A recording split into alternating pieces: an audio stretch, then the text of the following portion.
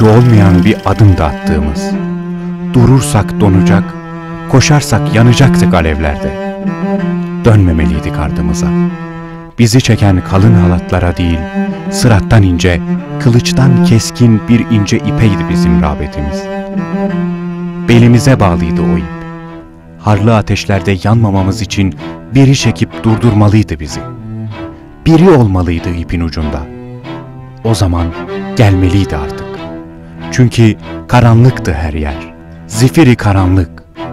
Zillet kol geziyor, insanlar, mazlumlar, Müslümanlar ağlıyordu.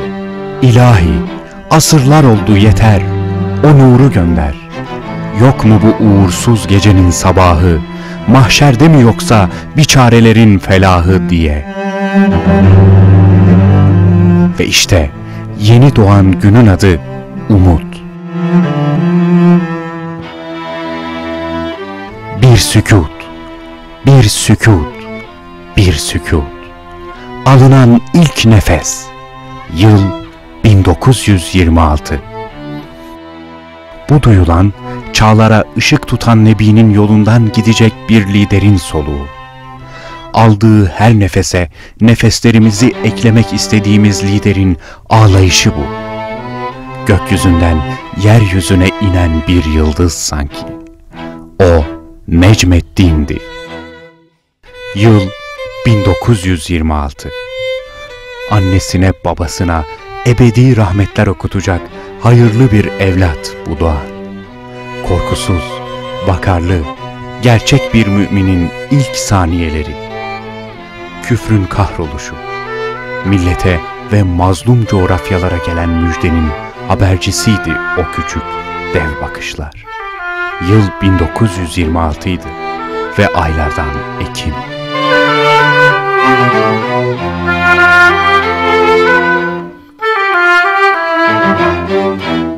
Geçen yıllar takvimden düşen sayfalar tanığıydı bir liderin doğuşuna. O liderin kendini adayışına. Rabbinin ant içtiği zamandı onun şahidi. Erdi o. Bulunduğu her ortamın lideri, başkanıydı. Yaşadığı zorluklarla daha da büyüyordu sorumluluğu. İmtihandı yaşadıkları ve her biri onun gücü nispetinde ağırdı. Yük gitgide ağırlaşıyor, imtihan zorlaşıyordu. Omuzlarında koskoca ülkelerin milyonluk İslami nüfusu, tüm mazlumların alınacak hakları vardı.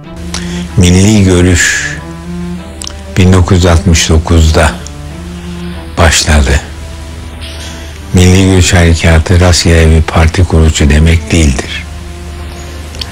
Bizim ta asırlardan beri aslımızdan, yüzümüzden uzaklaşalım, batılılaşalım ceryanları karşısında birçok insanlar hayır biz asıl aslımıza dönersek büyürüz, kıymetleniriz, daha mesut oluruz fikrini ileri sürmüşlerdir.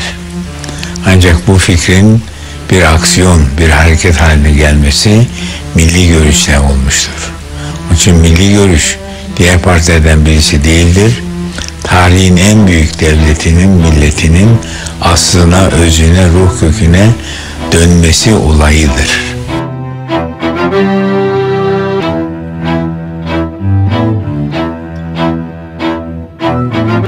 Biz onun gözyaşlarıyla yanardık, o bizim yanlışlarımızla.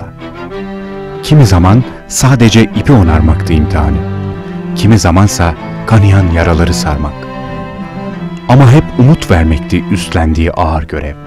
Hiçbir zaman da müjdelemekten, umut vermekten geri durmadı. En zor zamanlarda dahi hep samimi bir inançla ümit verdi, azim verdi. Bugünkü kongremizin her şeyden evvel dört bayramı birden kutlama kongresi olduğunu ifade etmek istiyorum. Arkamızdaki büyük levhada da belirtildiği gibi bugün Refah Partimizin 10. yıl dönümünü kutluyoruz. Bugün Türkiye'deki milli görüş şuurlanmasının 24. yıl dönümünü kutluyoruz. Bugün katılım bayramını kutluyoruz. Bugün iktidarı devralmaya başlama bayramını kutluyoruz.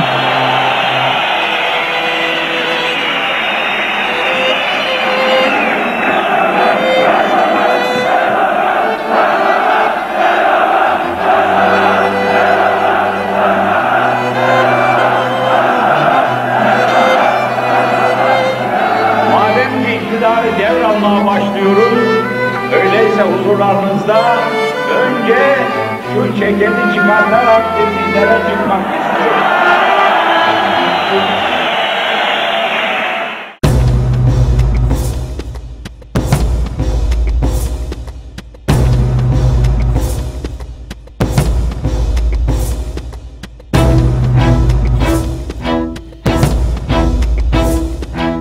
Kendi partimize kavuştuk. Elhamdülillah.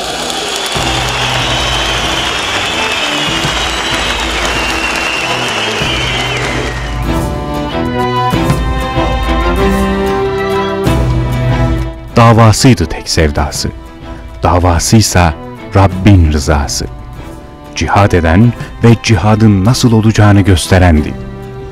Yarınların kalbindeki hazineydi onun aklındakiler.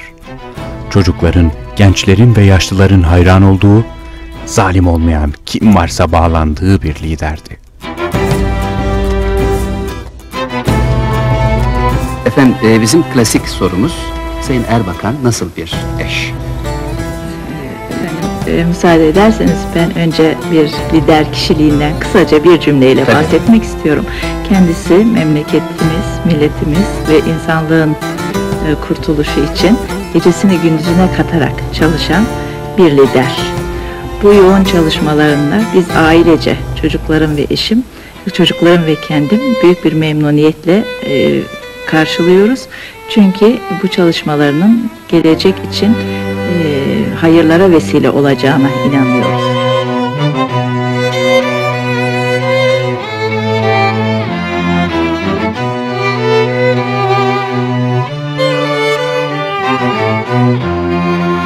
Milli görüş demek hakkı yani haklılığı üstün tutan kaba kuvveti değil, hakkı ve haklılığı üstün tutan zihniyet demektir.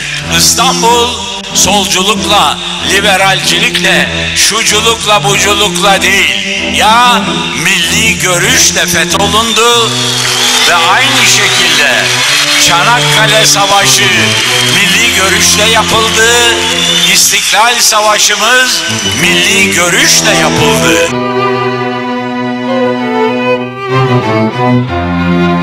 O, Mücahit Erbakan'dı.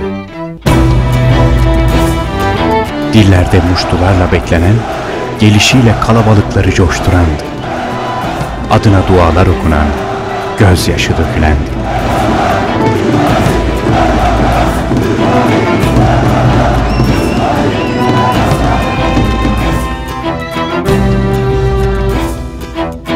Heyecandı o, coşkuydu, azimdi. Adı kararlılıktı belleğimizde. Şu ana kadar gelen bilgilere baktığımız zaman Refah Partisi'nin bilhassa şehirlerde, büyük şehirler, şehirler, ilçeler ve beldelerde il genel meclisi oyları itibariyle diğer partilerin büyük bir farkla önünde gittiği açıkça görülmektedir.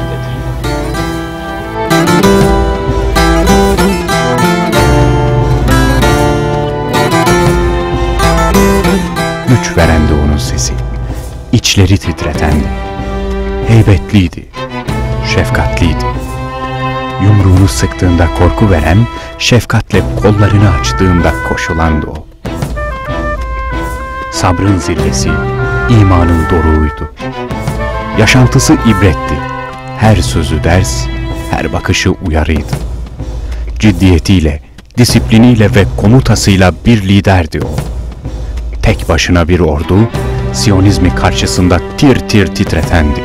Oynanan oyunları sahne sahne bilen, sadece sahneyi değil, sahneye koyanı, yazanı, yazdıranı da görebilen ve anlatmaktan usanmayan, bir kişiyi bile ateşten kurtarmak için saatlerce konuşan,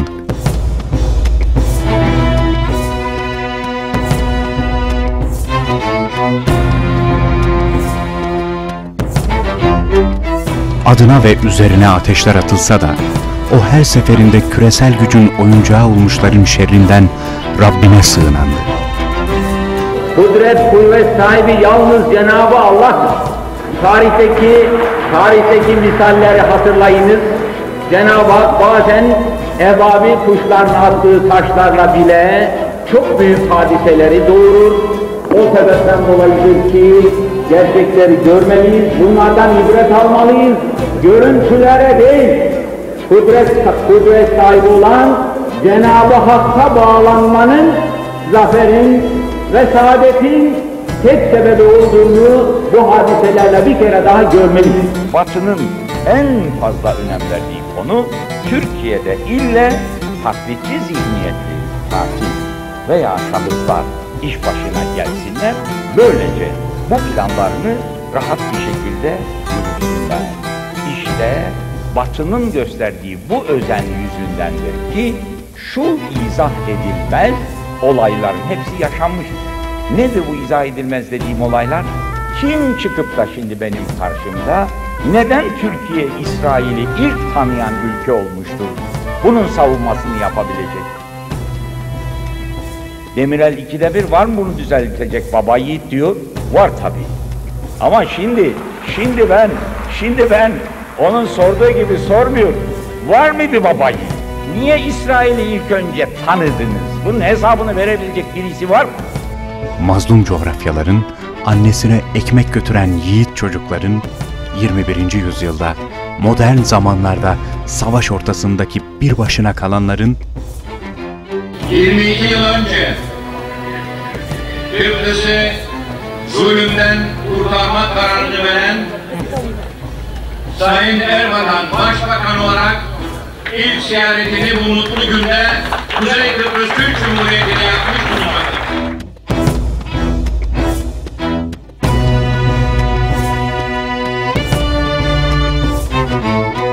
okul önlerinde inançlarından dolayı ezilip Rablerine yalvaran gençlerin, ekmek parası diye saatlerce ezilen gariplerin, ağzını açamayıp sadece dudaklarını ısırıp gözyaşı döken muhtaçların ihtiyacı vardı ona. Ömrü hakka adanmış olanın yaşadığı yıllar ne kadar uzun olursa olsun hep kısa kalır, hep yarım kalırdı planlar. Biz bilirdik. Lakin yaşamaktan korkuşumuzdandı dile vuramayışımız. Kararan hava çökmüştü iyice yüreklerimize. En baba yiğitlerimiz yaşlarla yığılmıştı yere. Dayanmak bildiğimiz gibi değildi bu kez. Yoktu anlamı sözcüklerimizde. Acıydı. Lakin yangınlarımız kadar gerçekti bu. Allah ağrılarından ve omzundaki ağırlıklardan arındırmış, yanına almıştı onu. Şüphesiz dönüş ancak onadır.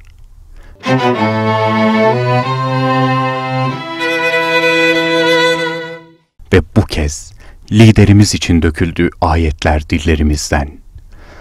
İlkin inna lillahi ve inna ileyhi raciun ayeti buldu dudaklarımızı. Bu gidişimiz son yolculuğa uğurlamaktı. Ona son gidişimiz.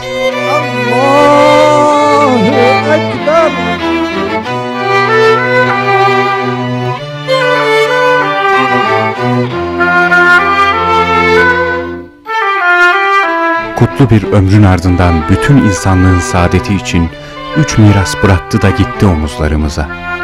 Kalpleri coşturacak hakiki bir iman, ümmeti ayağa kaldıracak olan İslam birliği, bin yıllık Selçuklu Osmanlı medeniyetinin devamı olan yeniden büyük Türkiye, yeni bir dünya ve adil düzen.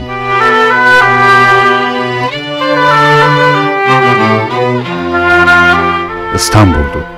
Yağmur kokuyordu. Canımızı emanet almıştı bizden. Yıl 2011, aylardan Şubat.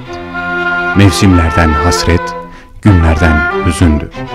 Üşümüyordu kimse. Herkesin aklı değil, kalbiydi en öndeki. Bir liderdi giden.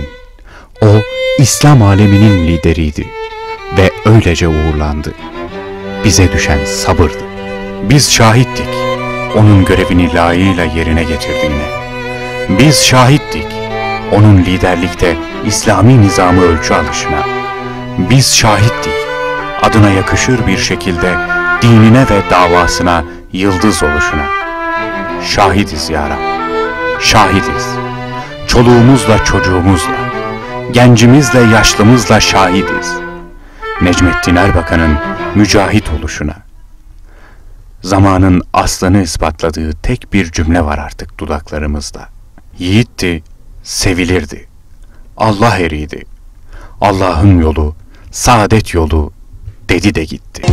Yiğitti, sevildi, Allah eğdi. Allah'ın yolu, saadet yolu.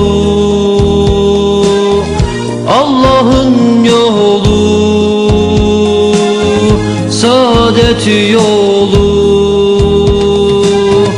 Dedi de gitti Dedi de gitti Ey yürekleri dağlar kadar büyük ve azimleri kayalar kadar sağlam milli görüşçüler. Tarihe bakın, inancınıza sarılın, milli görüşe sarının. Zulüm ebedi olamaz, kötülük mutlaka husrana uğrayacaktır.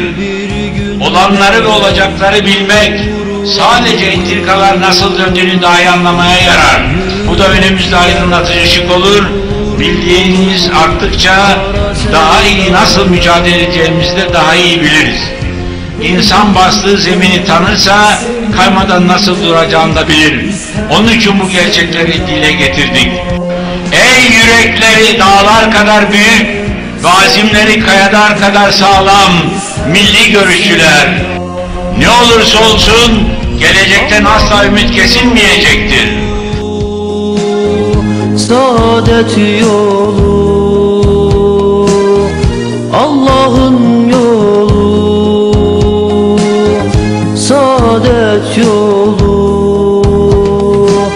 Şu son cümlelerimi söylüyorum. Şahit olun. Şahit olun. Şahit olun.